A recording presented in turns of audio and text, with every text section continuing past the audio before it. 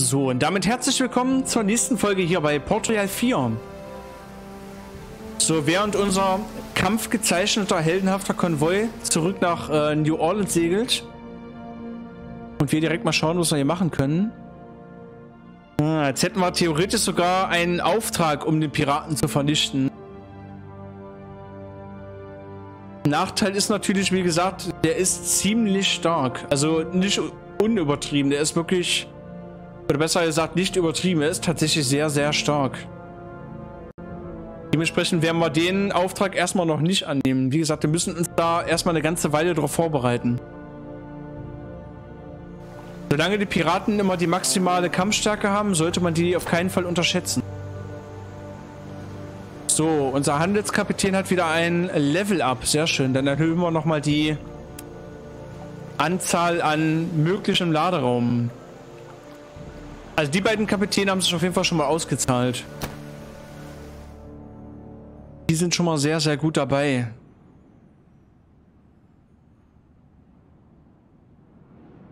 So, sobald dann wieder Frieden ist, werden wir dann auf jeden Fall mal schauen, dass wir unseren nächsten Kapitän mal so ein bisschen pushen. Und den wieder ein bisschen auf Vordermann kriegen.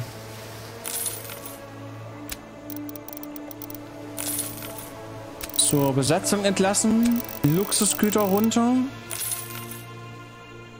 So. Und dann werden wir die Flotte erstmal wieder reparieren müssen. Vier Tage. Wie gesagt, immer wichtig, dass man die Mannschaft entlässt, damit man in den vier Tagen nicht unnötig äh, Lohnkosten für seine Besatzung hat. Aber ich kann mir vorstellen, das wusstet ihr bereits schon. Erzähle ich euch wahrscheinlich nichts Neues.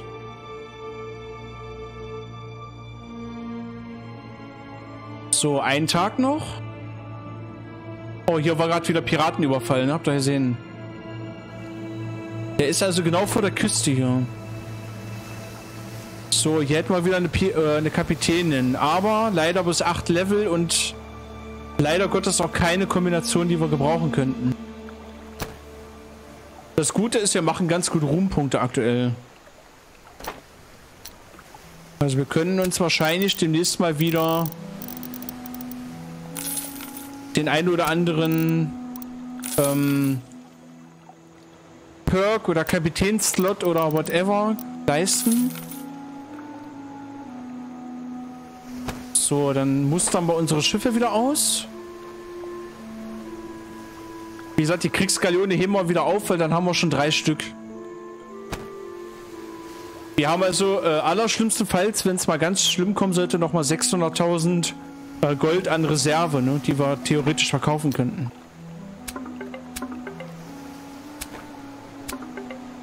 Aber ihr seht halt ganz gut, wie, äh, wie gut sich das alleine hier schon rechneten. Alleine das waren eben schon 300.000, die wir Umsatz gemacht haben. So, dann machen wir nochmal ein leichtes äh, Speicherli. So, immer auf Nummer sicher gehen. So, und dann werden wir das Ganze noch ein bisschen weiterführen. Denn auf, das Gute ist auf die Art und Weise... Herzlich willkommen im Namen der Krone. Wir sehen halt, der Kaperbrief wird günstiger und wir äh, sorgen natürlich dafür, dass Frankreich stärker wird und Spanien schwächer wird. Hm? Mich würde tatsächlich auch mal interessieren, ob die... Äh, vielleicht wisst ihr das tatsächlich auch, dann gerne mal in die Kommentare schreiben. Äh, ob die Franzosen aus den Schiffen, die wir verkaufen, vielleicht neue Militärkonvois äh, gründen. Das würde mich tatsächlich mal interessieren. Das wäre tatsächlich mal interessant zu wissen. Denn, wie gesagt, äh, die Nation bekommt zwar immer aus Europa neue Flotten, die dann nach und nach aufgebaut werden, aber das sind meistens immer einzelne Schiffe. Oh. Fünf Schiffe. Müssen wir mal gucken. Mit ein bisschen Glück hat er ein Problem. Mit ein bisschen Glück hat er einen Fehler gemacht. Wir werden wahrscheinlich mal eine Umzingeltaktik nutzen.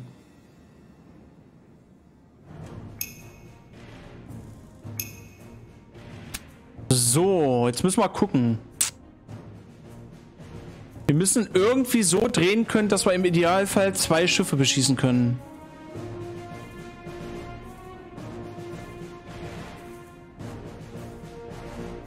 Ja, dann nehmen wir ein klein bisschen Schaden.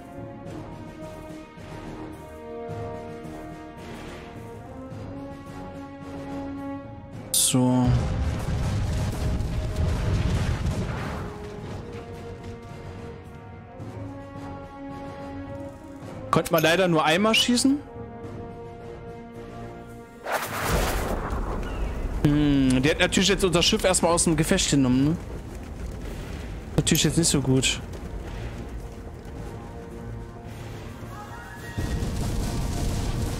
Das Gute ist aber, hier können wir uns eindecken mit Militärfregatten, äh, mit Militärkorvetten.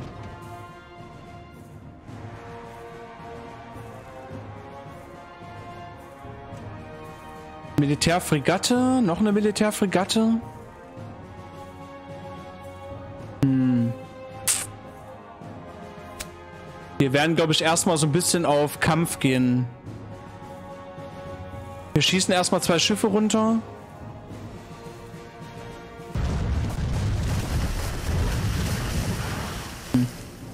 Das hat leider nicht so viel gebracht. Aber das hat dafür was gebracht.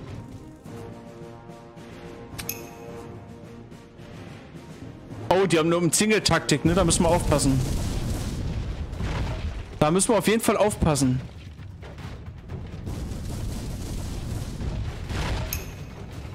Da müssen wir unbedingt aufpassen, dass die nicht aus Versehen äh, mitten in unsere Schiffe reinsegeln.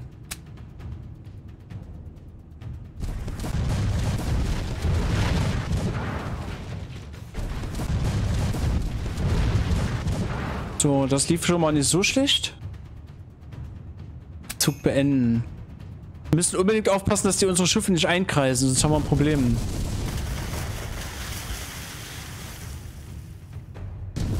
Er könnte hier nämlich bei dem Schiff jetzt schon... Ah, genau. Seht ihr, das habe ich gemeint.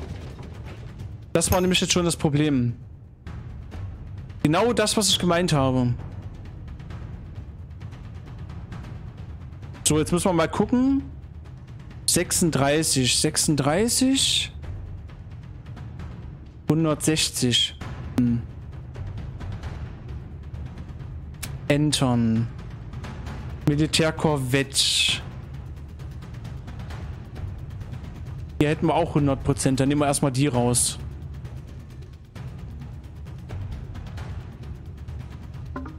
So, und steht es erstmal wieder ein bisschen besser für uns.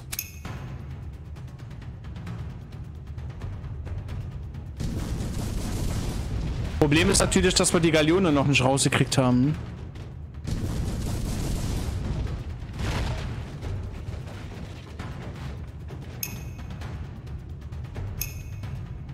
Was ich ein bisschen schade finde, was ich ein bisschen schade finde, dass wir keinen Perk irgendwie haben, um ein geändertes Schiff wieder in den Kampf zurückzuholen.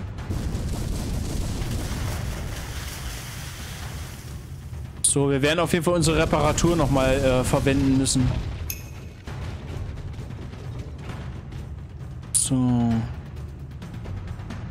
Weil unser Linienschiff ist schon ganz schön runtergeschossen.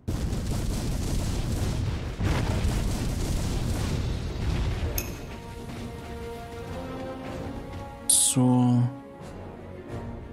Militärkorvette. Das machen wir am besten erstmal gleich. So, dann nehmen wir die Militärkorvette erstmal aus dem Spiel. Wo wir jetzt natürlich wieder darauf aufpassen müssen, dass wir uns nicht outnumbern.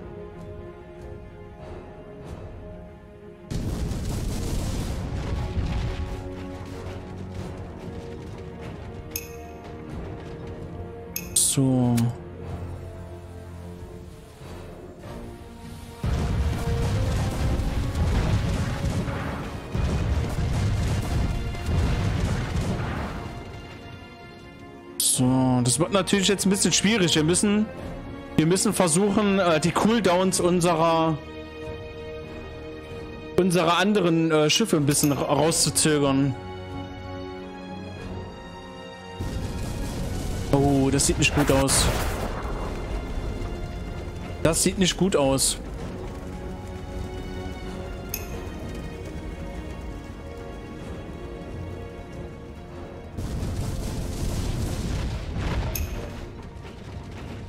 Glaube, das Linienschiff werden wir verlieren.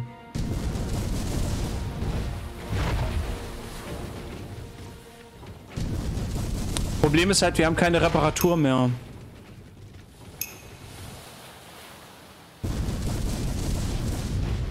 Das Einzige, was wir versuchen können, ist mit dem Schiff zumindest noch eins zu kapern.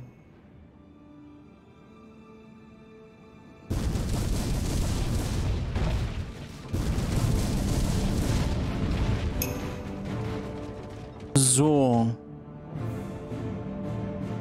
36 Kampfstärke.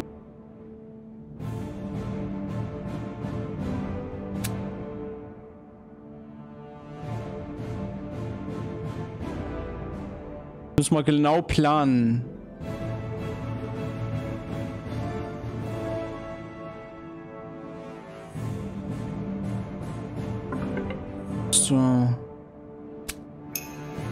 Jetzt brauchen wir wirklich Glück.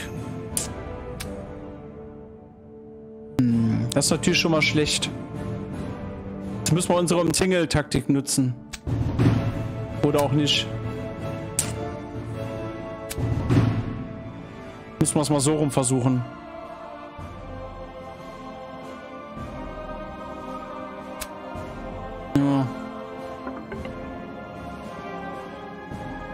Und jetzt müssen wir, äh, müssen wir beten, dass die Fregatte nicht nochmal rumkommt und uns beschießt. Aber das wird sie garantiert. Oder auch nicht, weil sie nicht mehr kann. Gut, haben wir Glück gehabt. Dann haben wir Glück gehabt. Boah, das war echt knapp. Das hätte auch mega schief gehen können. Unser Linienschiff war fast runtergeballert. Gut gemacht.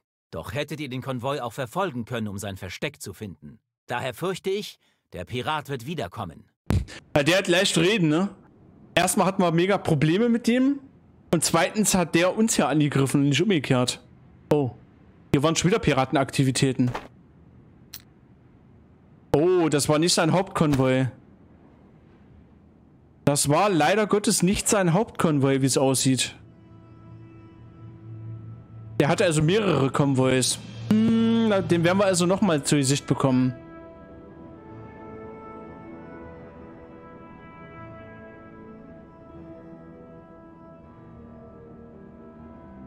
Hm. Ist natürlich jetzt das Problem, wir haben keine Taktiken mehr, ne? dürfte jetzt ein bisschen gefährlich werden.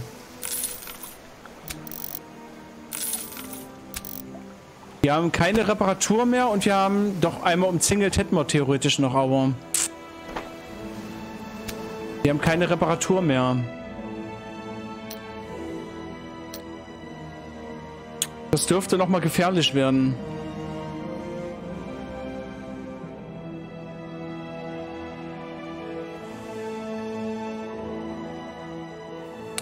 Also äh, nur zur Info, das war der leichte von den beiden Konvois, den er hatte. Ne?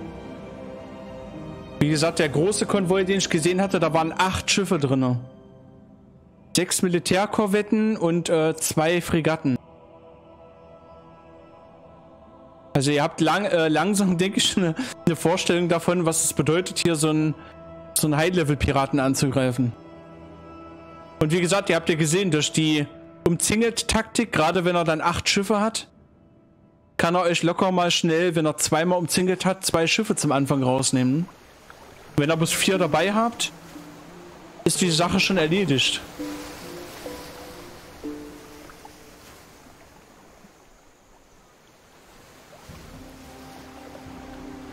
So, hier werden wir jetzt tatsächlich aber mal nur die die Galeone verkaufen. Die anderen Schiffe werden wir uns mal aufheben.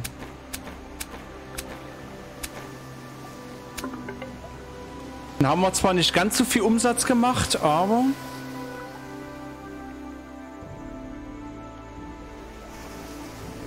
Wobei, eigentlich brauchen wir die äh, Militär- oder die Kriegsgaleonen gerade nicht.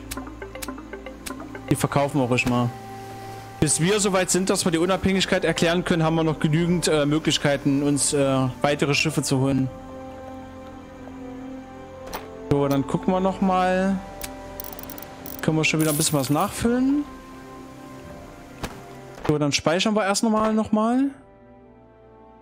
Freies Spiel. So. Was wir theoretisch mal machen könnten. Erstmal werden wir unsere Mannschaft wieder auffüllen. Das ist erstmal Schritt Nummer eins. Und dann werden wir mal gucken. Wir werden mal vorsichtig nochmal in die Richtung segeln. Ah, der Pirat ist hier vorne, glaube ich, gerade gewesen. Zumindest wird hier gekämpft gerade. Oder? Nee, scheint Militärkonvoi gewesen zu sein. Was kann ich für euch tun? 440 Stärke hat er aktuell noch. Wenn wir uns mal erinnern, der hatte 640 Stärken. Jetzt hat er noch 440. Also wir haben ihm gerade mal 200 Kampfstärke gekostet. Das ist wirklich äh, nicht wirklich viel. In der Nähe von New Orleans zuletzt gesehen. Also freut euch darauf, äh, wenn wir es äh, mal so weit haben, dass wir das Piratenversteck aufgedeckt haben. Also das ist ein ordentliches Arbeit, äh, ordentliches Stück Arbeit, bis wir dann den Piraten endgültig mal vernichtet haben. Dann müssen wir bis dahin noch mal einiges an Flottenstärke dazu holen. So, wir gucken bei dem Konvoi mal, ob wir den verarschen können. Gucken, ob das funktioniert. Hängt natürlich jetzt ein bisschen davon ab, ob hier bei äh, Florida Keys gerade ein Militärkonvoi von Frankreich liegt. Das sollte im Ide Idealfall dann natürlich funktionieren. Naja, ah liegt aber. So.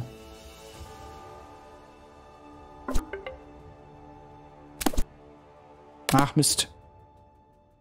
Das ist jetzt natürlich ärgerlich, ne? Der traut sich nicht mehr uns anzugreifen.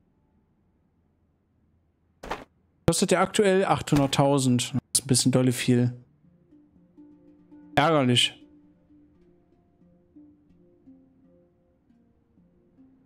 Was wir natürlich noch machen könnten.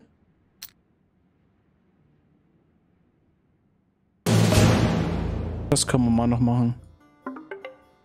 Kostet uns zwar... Kostet uns zwar ein bisschen was, aber... 50 Ruf können wir verkraften, aber dafür kriegen wir sechs Schiffe. Die wir im Prinzip alle einfach bis Kapern brauchen, wie wir sehen. So, dann holen wir uns die großen mal als erstes.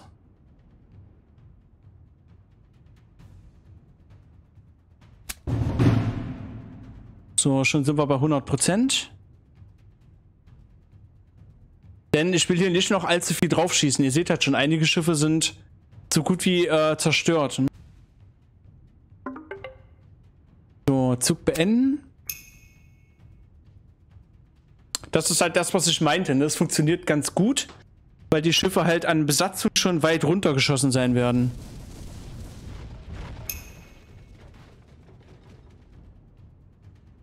So.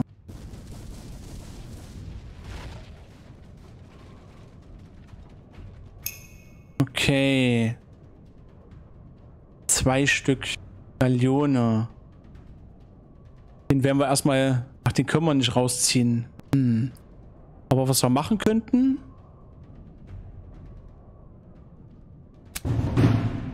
Nee, das funktioniert leider auch nicht. Gut.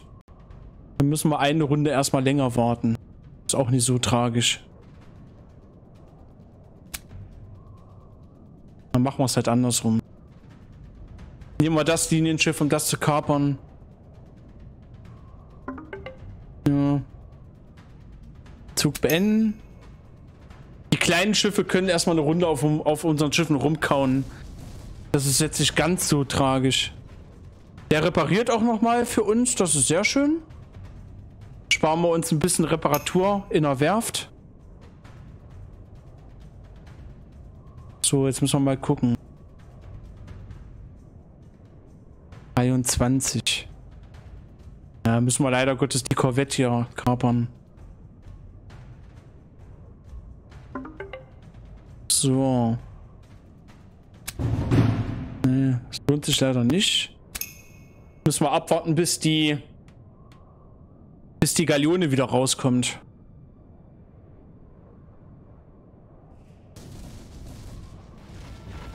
Aber den, äh, die 50 Ruf sind gut angelegt, weil wir halt sechs Schiffe dadurch kriegen.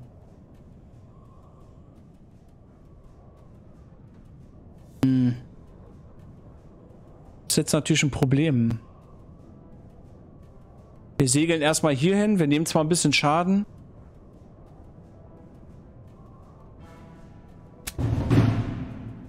Ach, Mist.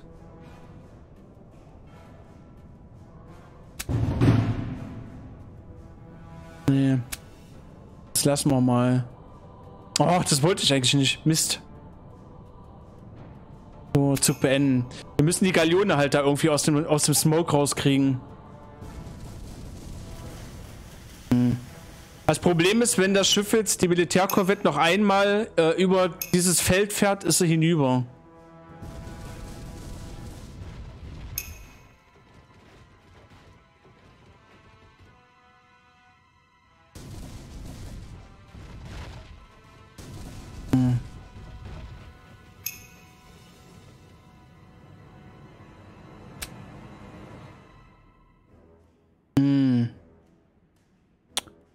Ist jetzt natürlich schwierig. Wie machen wir das am besten? Ich habe halt mega Angst, dass die äh, Militärkorvette äh, von der KI schlecht gesteuert wird und aus Versehen hier auf das Feld fährt. Dann kriegt sie fünf Schadenspunkte. Sie hat halt nur noch zwei, ne? Oder einen sogar nur noch. Das ist halt der Punkt.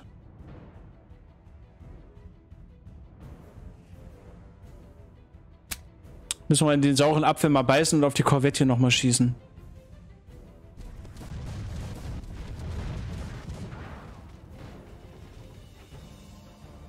So. Zug beenden. Ich hoffe mal, die Militärkorvette bleibt erstmal weg von unserer von unserer Galeone. Einzige Problem ist natürlich, wir brauchen noch zwei Runden und unsere Galeone kriegt ganz schön Schaden von der anderen Galeone hier gerade.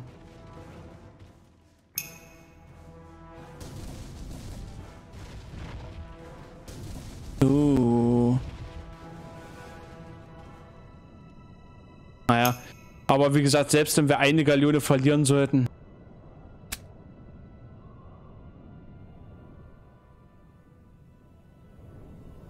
Selbst wenn wir da eine Galeone verlieren sollten.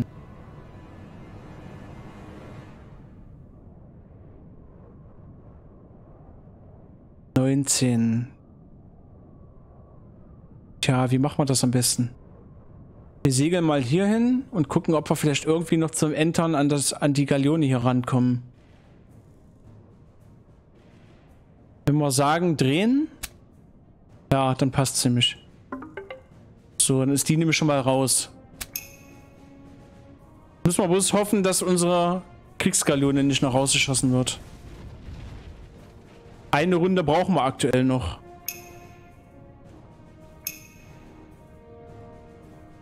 So. So, Linienschiff ist wieder einsatzbereit.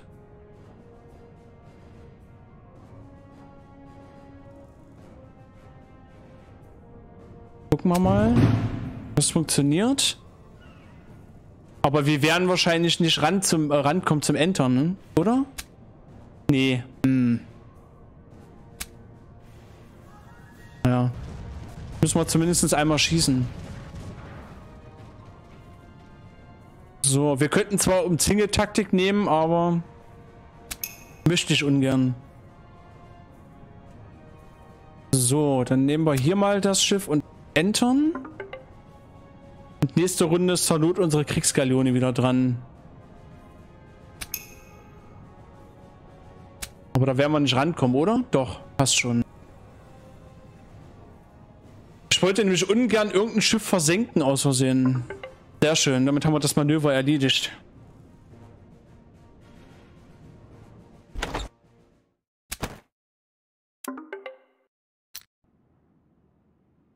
So, jetzt müssen wir bloß gucken, dass wir halbwegs äh, sicher irgendwie nach Hause kommen. So, ich werde an der Stelle schnell nochmal speichern. Weil wir ja noch einen Piraten unterwegs haben, wie wir wissen. So, und während äh, wir dann auf dem Weg äh, zurück in den sicheren Hafen sind, um unsere Beute zu verkaufen, machen wir mal eine Folgenpause. Mit leichter Überlänge diesmal, wegen des Kampfes wieder. Äh, gerne wieder Däumchen hinterlassen. Nächste Folge geht es ja actionreich weiter. Wir werden noch eine Weile ein bisschen auf Carper-Tour bleiben um äh, sowohl unseren Geldvorrat mächtig aufzufüllen, wie wir sehen, als auch, äh, wie gesagt, unsere Vormachtstellung mit England ein bisschen ausbauen zu können, solange der Krieg tatsächlich noch anhält.